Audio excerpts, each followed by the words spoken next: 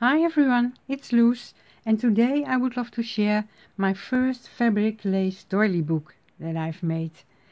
I was inspired by many wonderful crafters here on YouTube that shared their beautiful fabric lace albums and oh, too many to mention but I will mention some of them as I go through the book because um, they gave me some ideas that I've used great ideas. So thank you very much, ladies, for sharing all these beautiful projects.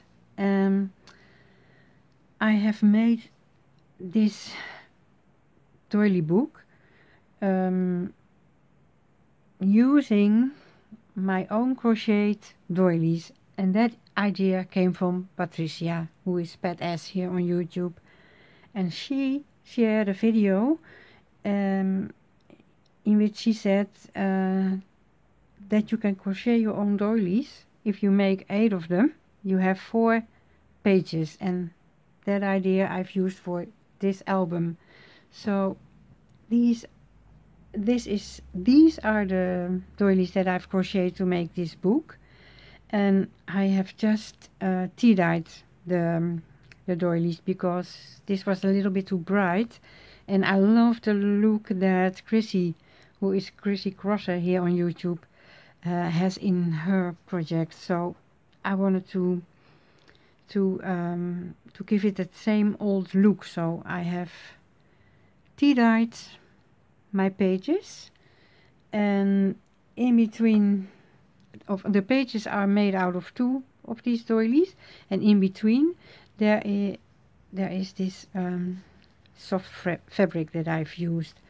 I cut out two circles and then glue them together and then glue two of these doilies and embellished the doilies to get the the pages of this album. So it looks like there's a lot going on on this page but it's just a flower that is um, on the cover of this as you can see I've made this flower using uh, some eyelet trim and some um, oh yeah, uh, crochet pieces. Here's a tiny doily a dimensional flower and some pom-pom trim. And the flower is just glued on the first doily. And behind the flower there is another tiny doily and a piece of vintage lace. And then another tiny doily here with a piece of applique and a cut of flower from some out of some vintage lace. And I have all kinds of dangles here. And that idea is from uh, Bonnie who is Sassy Scrappers I love the look of that, all these dangled pieces together. So thank you Bunny for that idea. And then I have uh, a piece of ribbon here that says Dream Big. And let's just cut off this ribbon. And I've made it look older by distressing it a bit. And it's glued down using a tiny wooden button. And then there's a crocheted flower that I've tucked under the oh no I'm sorry a crocheted leaf that I've tucked under the flower. And that is how the the cover came out. And the pages are bound together using seam binding. And on the seam binding I have all kinds of uh, tiny little balls that I've crocheted and some uh, pom-pom trim that I uh, all the all the crochet work in this book is done by me. And uh, I love doing that tiny little pieces. I've always uh, a ball of yarn in my purse and a hook so when I have to wait somewhere I can crochet myself a flower or a piece uh, like this something. So that's the cover of my book. And then this is the first page For my book I have used uh, vintage images of teddy bears and I tried to find um, images that had also lace. So for instance this bear has a beautiful lace bow around his neck and on this one there is a piece of lace on the background. Um, I have glued some lace in between the two doilies. And I just like that all these things sticking out and yeah it makes it look um, interesting I think. I have framed the picture by gluing some pom-pom trim around it.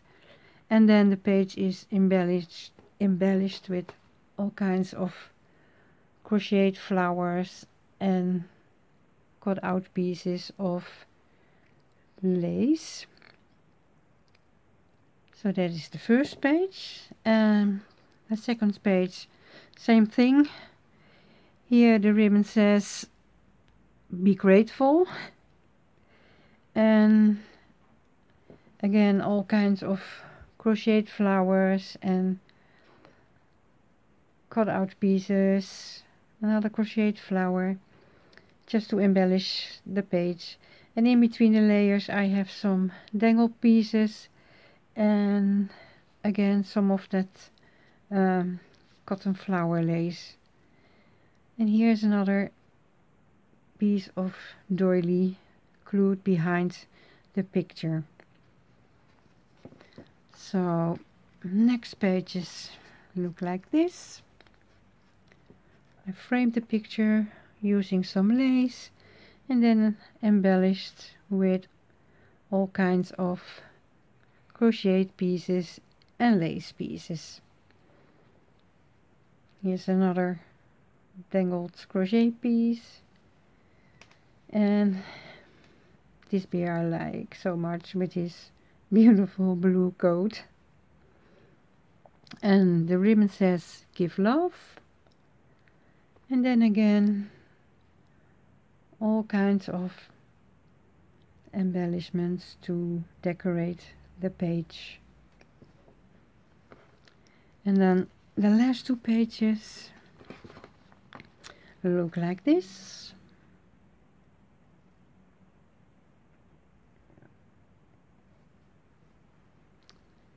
And this one here it says laugh lots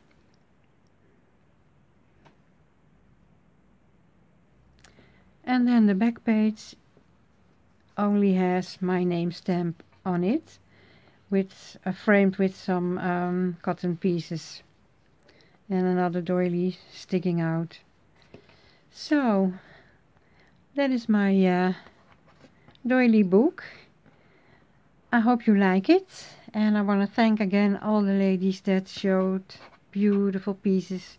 I'm sure I forgot a lot of them. Um, there's Drillis and Maggie and Janet. Oh, I think you know all the ladies who make those beautiful um, doily lace pieces. Um, I also want to thank you for watching and wish you a wonderful day. Bye bye.